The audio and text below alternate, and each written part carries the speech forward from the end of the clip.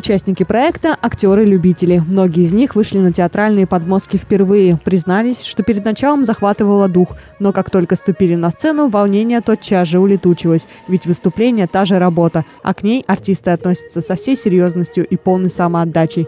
За те полчаса, что длилось представление, зрители успели по достоинству оценить таланты членов коллектива с особенностями здоровья. Для них, только начинающих свой творческий путь, диагноз не приговор. Ведь когда ты занят любимым делом, пропадают и страх, страх и скованность движений. Все хорошо, все приятно, мне нравится. Я сам стеснялся, боялся сначала заходить на танцы и желаю всем заниматься как, как мы. Среди участников представители разного возраста и национальности. Перед руководителями коллектива, режиссером и хореографом стояли непростые задачи, которые организаторам удалось решить на отлично, реализовав все намеченные задумки. Не обошлось и без импровизации. Актеры на ходу придумывали шутки и движения, которые сделали постановку более естественной и оживленной. Прошло у нас замечательно, получилось, и мы понимаем, что следующая постановка у нас может быть еще сильнее, еще больше задач можем мы им уже поставить, и они осилит все, что мы им предложим.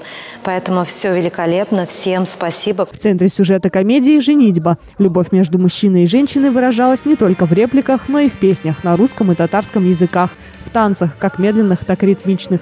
Зрители тепло встретили премьеру спектакля. Увидеть очередную постановку удастся только в декабре. Всю осень артисты будут готовиться к спектаклям. Тема известна заранее. Происходящее под Новый год волшебство.